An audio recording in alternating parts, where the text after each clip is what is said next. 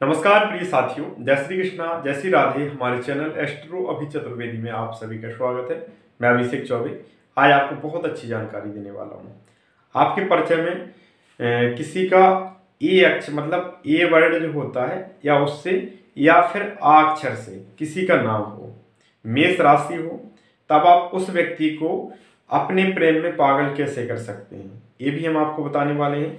अगर वह इंसान आपको इग्नोर कर रहा है तो उसके लिए आपके पास क्या चीज़ है कि आप उसका बदला ले सकें?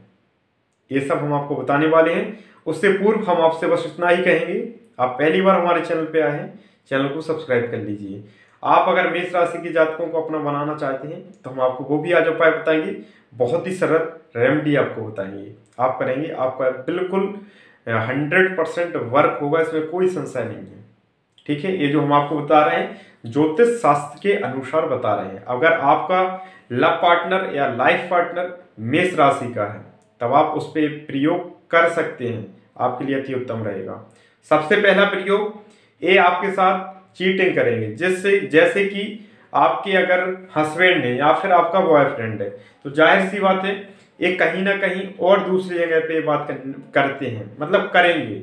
या इनकी कोशिश रहती है जल्दी क्या है, दूसरों की ओर मतलब आकर्षक आकर्षित हो जाते हैं अट्रैक्ट हो जाते हैं दूसरों के प्रति। और दूसरे लोग भी इनके प्रति जल्दी अट्रैक्ट हो जाते हैं, क्योंकि इनमें एक कला होती है, इनकी बाणी अच्छी होती है, इनमें ज्ञान अच्छा होता है, इन्हें हर चीज़ का नॉलेज भी होता है निस राशि के लोगों को। तो जब ऐसा होता है तो ज़ाहिर सी बात है कि दूसरा इंसान इनकी बातों से इनके बस में हो जाता है। तो आपको चाहिए अगर ये आपके साथ ऐसा कर रहे हैं कि आपके रहती है किसी दूसरे व्यक्ति को ज़्यादा समय दे रहे हैं किसी दूसरे से बात कर रहे हैं, आप ये मत सोचना कि आपको छोड़ने वाले ये आपको भी नहीं छोड़ेंगे। फिर आपको चाहिए कि आप इनको इग्नोर करें। आप इनको इग्नोर कर दें।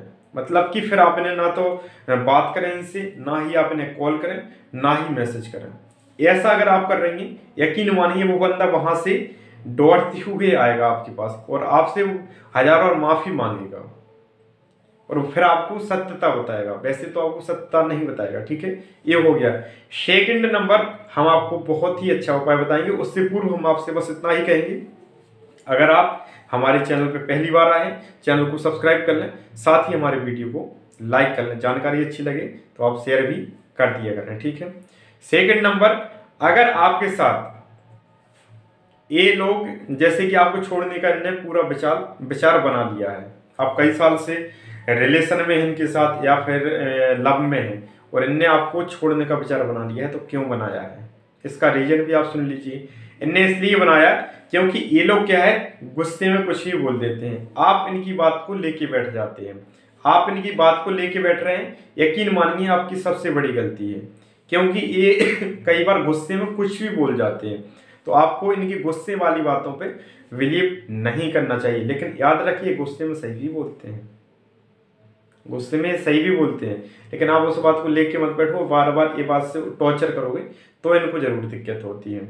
इनको आपको टॉर्चर नहीं करना है, इनको आपको समझाना है। इनकी सबसे बड़ी कमज़ोरी होती है, इन्हें जो इंसान समझाता है, ये उस व्यक्ति के प्रति जल्दी अट्रैक्ट हो जाते हैं। तो आपको भी चाहिए कि आप मेष राशि के जब तक आपके लाइफ में जो भी हो मतलब आप उनको अगर अपना बनाना चाहते हैं और इनको कभी आप अपने से दूर नहीं करना चाहते हैं तो आप इनको समझाइए, ठीक है? एक अच्छे रास्ते पर जाने का वो कहिए और आप इनके घर वाले फैमिली के प्रति, साथ ही इनके भाई बहन इन लोगों के प्रति इनको ज़्यादा उनसे बात करें, उनके विषय में, उनकी केयर करें मतलब इनसे बात करें, जब भी तो उनके भाई बहन कैसे हैं माता पिता मतलब उनके बारे में पूछें और उनके घर वाले की फैमिली के प्रति ज़्यादा केयर मतलब केयर करें इनकी फैमिली की। ऐसा अगर आप कर रहे हैं, आप यकीन मानिए कि मेष राशि के जब तक आपसे कभी दूर नहीं जा पाएँगे। ऐसा आप कीजिए। साथ ही आपको ये ज़रूर हथियार हमेशा याद रखना है कि अगर ये आपको थोड़ा सा भी इग्नोर कर रहे हैं, अगर समय नहीं दे रहे हैं, आप इनको कम कर दीजिए समय देना, या फिर इनके साथ एक और कमज़ोरी होती है, मेष राशि वालों के पास। ये सामने वाला व्यक्ति अगर कोई ज़्यादा मतलब ऐसा हो जाए भावुक तो ये कुछ भी उसको वचन देने को तैयार हो जाते हैं और कुछ भी छोड़ने को तक तैयार हो जाते हैं। अगर आप चाहते हैं कि आपके साथ हमेशा रहें तो आप इनको कभी कभार भावुक हो जाया करो, लेकिन ऐसा नहीं कि आप डेली भावुक होंगे। मतलब डेली आप रोने वाने का नाटक करो। ऐसा अगर आप करोगे तो ये भी ये चले जाएँगे। ये कभी कभार इनको जब आपको दुख हो तो इनके सामने रो दिया करो। इनके सामने आपने रो दिया, यकीन मानो ये मेष राशि वाले आपसे कभी दूर नहीं जाएँगे, ठीक है? ये हो गया है। अब हम बात करते हैं, इसके लिए आपको उपाय क्या करना चाहिए कि मेष राशि के जातक कभी आपके लाइफ से ही ना जाए।